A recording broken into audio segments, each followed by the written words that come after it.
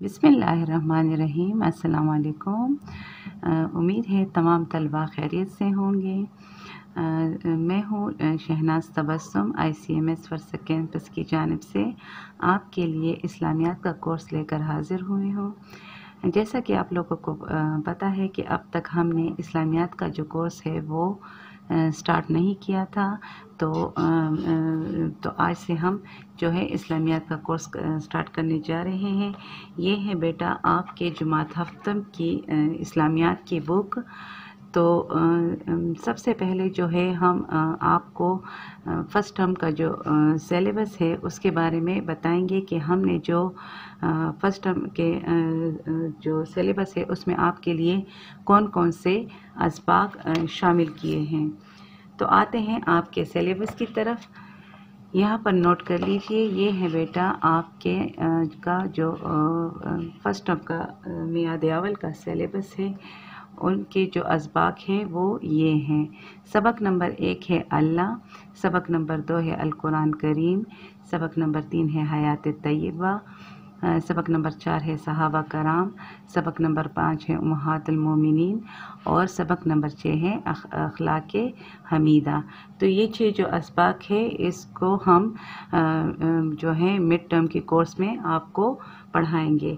तो सबसे पहले हम आते हैं इस जो किताब का, का जो पहला सबक है उसकी के बारे में हम जो है रीडिंग करेंगे उस सबक की और उस सबक के बारे में मैं आपको तफसीला बताऊँगी।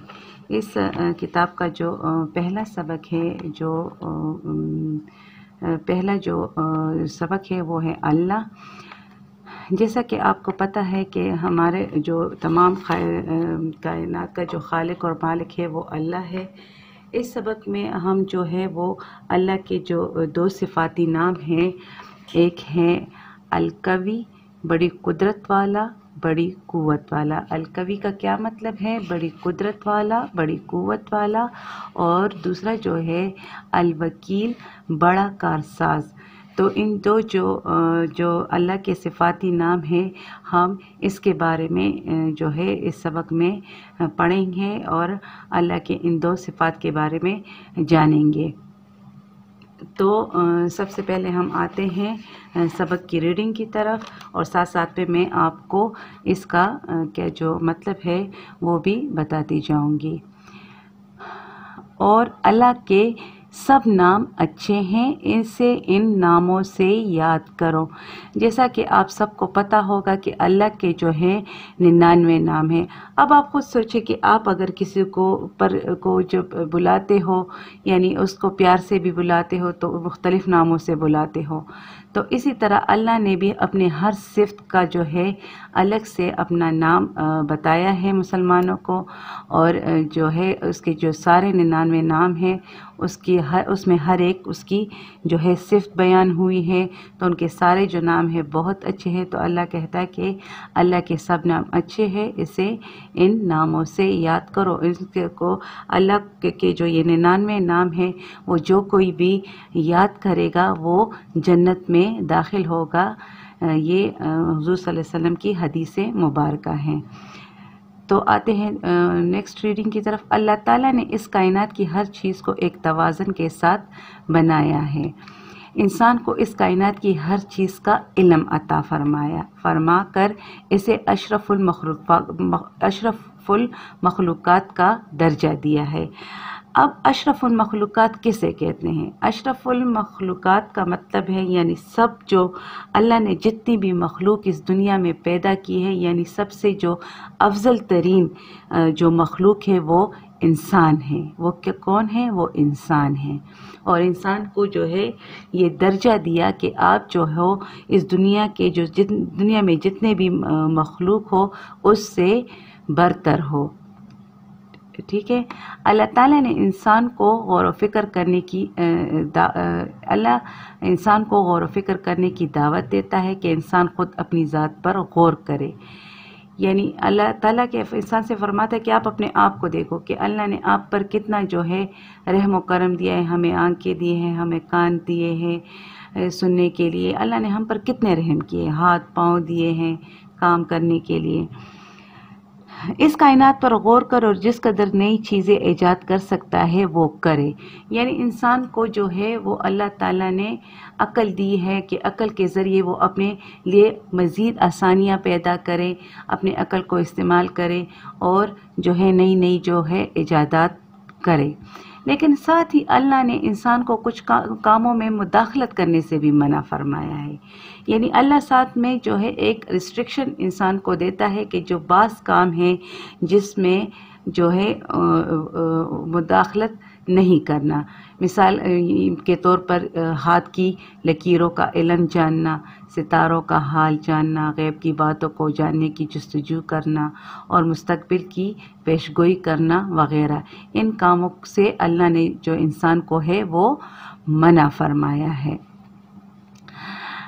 अल्लाह को अल्लाह को तमाम इलम, ताकत और सलाहियतों का सरचश्मा मानना और हर किस्म की ज़रूरत में अल्लाह ही को कादिर मानना अल्लाह ताला की सिफ़ात के तकाज़ों में शामिल है।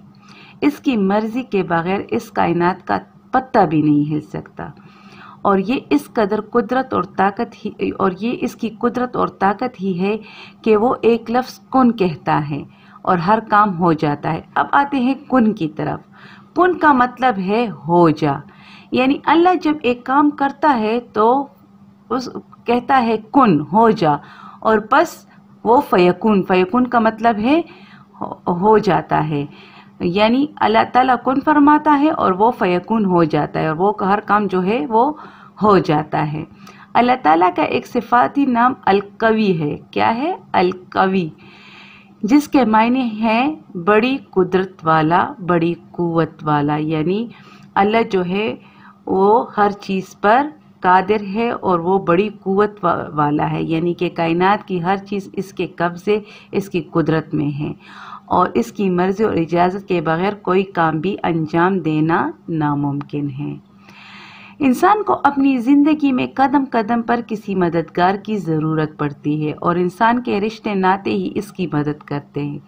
इसे माशरती तहफ़ देते हैं। मगर गौर किया जाए तो इंसान की ज़िंदगी में ऐसा मरहला आता है जब इस कायनात की हर शे इंसान की मुखालफत पर अड़ जाती है। इसका बनता काम बिगड़ जाता है। इसके रिश्ते नाते इसे मुँह मोड़ लेते हैं। इंसान पर इंसान हक पर होते हुए भी अपना हक हासिल नहीं कर पाता। वो सच बोलता है, मगर इसका सच कोई नहीं मानता। ऐसे में सिर्फ़ एक ही ज़ात है जिसे अल्लाह पुकारता है, क्योंकि वो हर चीज़ से बाखबर होने के साथ साथ इंसाफ पसंद भी है। इंसान इसकी अदालत में अपना मुकदमा डाल देता है और वो इंसान को मायूस नहीं करता। अल्लाह ताला की सिफ्त अलवकील है, जिसके मायने हैं बड़ा कारसाज। जिसके क्या मायने हैं अलवकील के? जिसके मायने हैं बड़ा कारसाज। क्या मायने हैं? बड़ा कारसाज। अच्छा लगत की इस्लाम में वकील इस शख्स को कहा जाता है, जिसके सुपर्द अपना काम किया काम किया जाए। और वो दलीलों और सबूत की रोशनी में इंसान को हक दिलवाए। और जब इंसान अल्लाह को अपना वकील मा, वकील मान कर अपने फ़ैसला इसके सुपुर्द करता है तो इस बात में कोई शुबा नहीं रहता कि हकदार को इसका हक मिलकर रहेगा। अल्लाह बहुत इंसाफ वाला है।